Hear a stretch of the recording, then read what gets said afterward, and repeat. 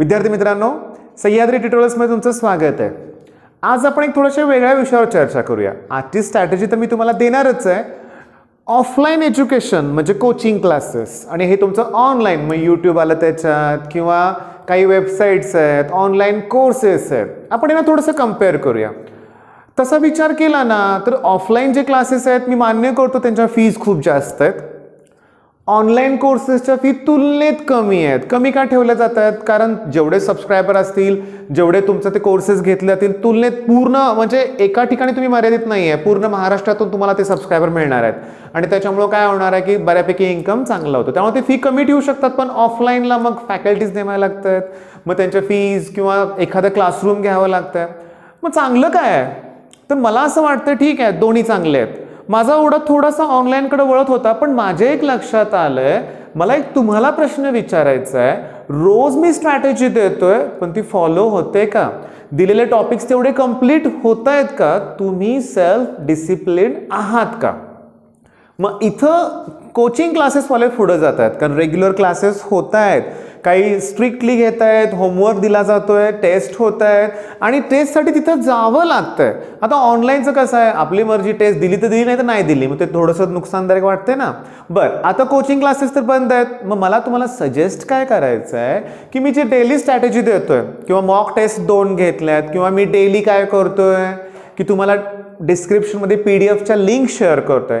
मग माझी काय इच्छा आहे की हे दोन महिने ना थोडंसं आपल्या पालकांना तुम्ही तुमच्या अभ्यासात इन्व्हॉल्व करून घ्या. तुमच्या पालकांकडून तुम्ही काय करा? तुम्ही टॉपिकची टे फुल स्टडी करा. जे डिस्क्रिप्शनमध्ये मी जे पन्नास साठ एम सी क्यू दिले असतील त्याची तुम्ही टेस्ट द्या.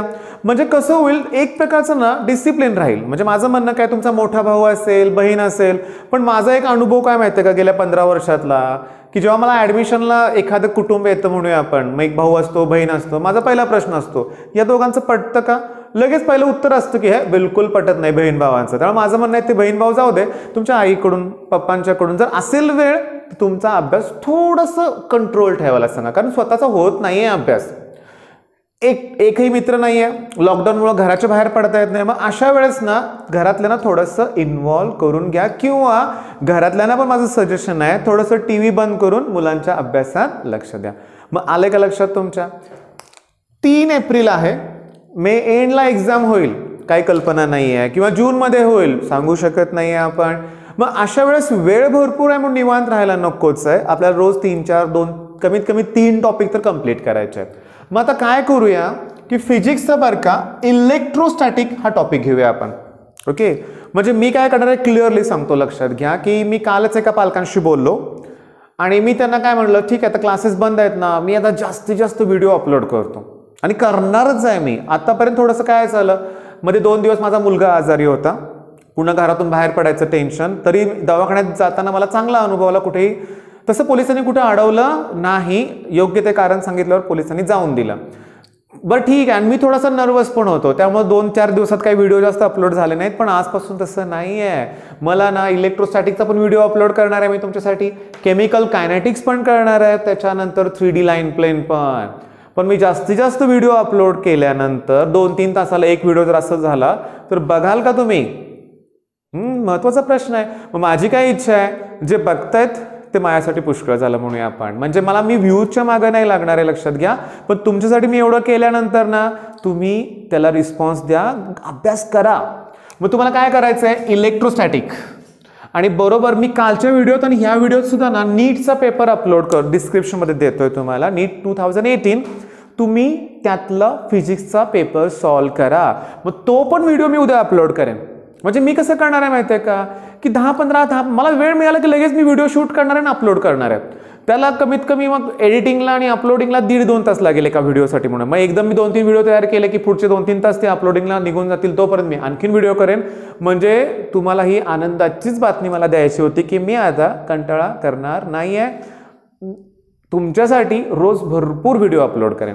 बरं मग हे एक इलेक्ट्रोस्टॅटिक नीट. आता केमिस्ट्रीमध्ये ना केमिकल कायनेटिक्स ना तू माझी इच्छा काय की माझ्या चॅनलवर ऑलरेडी मी केमिकल कायनेटिक्सचे जे व्हिडिओ अपलोड केलेत ना ते बोर्डसाठी होते मी मान्य करतो. अरे पण सी ई टीचे क्वेश्चन पण त्याच्यावरतीच बेस्ड आहेत ना. मग तुम्ही काय करा ते व्हिडिओ बघा. म्हणजे मी उद्या केमिकल कायनेटिक्सचे एम सी क्यू अपलोड करेपर्यंत तुम्ही अगोदर जे मी व्हिडिओ अपलोड केलेत ना ते बघाच.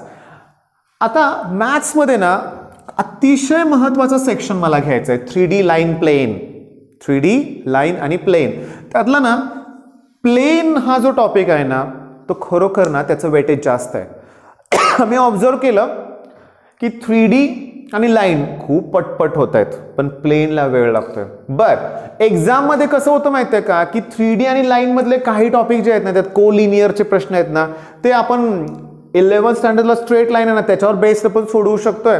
किंवा वेक्टरवर पण आधारित सोडवू शकतोय. म्हणजे कसं आहे हे सोपंच आहे. प्लेन थोडंसं टफ आहे.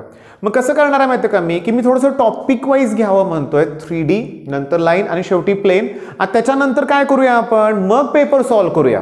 म्हणजे ह्याचे जवळजवळ चार पाच दिवस सुरूच राहतील. आणि उद्या मला ट्रिग्नॉमेट्रीचं पण अपलोड करायचं आहे. मग विद्यार्थी मित्रांनो उद्या म्हणजे आज म्हणूया आपण भरपूर व्हिडिओज मला अपलोड करायचे आहेत. ओके? बर. तुमच्यासाठी मी एवढं करतोय त्याचा मला पण फायदा होतोय हे मी मान्य करतो लक्षात घ्या. आता फायदा कसा होतोय मी तुम्हाला सांगतो. इतकं प्रेम मिळतंय तुमच्याकडून ना की हे मी बोलू शकत नाही शब्दात सांगूच शकत नाही. म्हणजे तुमचे भरपूर मी आभार मानायचे आहेत मला. बरं आता तुमच्यापैकी बरेच जण म्हणतात की तुम्हाला यूट्यूबकडून विचारतात बरं का की किती पैसे आत्तापर्यंत मिळाले तुमचा इन्कम किती? तर आत्तापर्यंत यूट्यूबकडून जमा काहीच झालं नाही या अकाउंटमध्ये पण मोनटायझेशन आहे काही डॉलर दिवसाला जमा होत आहेत पण तो इन्कम नगण्य आहे. सिरियसली मला विद्यार्थ्यासाठी खूप म्हणजे काय करायचं माहिती आहे का? की खूप प्रयत्न करायचे आहेत. म्हणजे मला इतक्या मुलांचे फोन येतात की त्यांचं एक कॉमेंट मी तुम्हाला सांगतो. असं असतं की सर मी कुठल्याही कोचिंगला जात नाही आहे केवळ तुमचे व्हिडिओ बघून अभ्यास करतोय मग त्यावेळेस ना खूप आनंद होतोय लक्षात घ्या. सिरियसली आनंद होतोय. आणि तसं बघायला गेलं तर ना की कोचिंग क्लासेसमध्ये मी दिवसभर बिझी असतोय. हे एक्स्ट्रा वर्क होतं माझ्यासाठी. कारण काय होतंय की एवढं व्हिडिओज अपलोड करायचे म्हणजे वेळ जातोयच. मग होतं काय बघा एवढं मी करणार आहे तुम्ही फक्त मला रिझल्ट द्या. आणि बऱ्याच जणांना भेटायची इच्छा आहे मला. मग माझं पण मी पण तुमचं इथं स्वागत करायला तयारच आहे.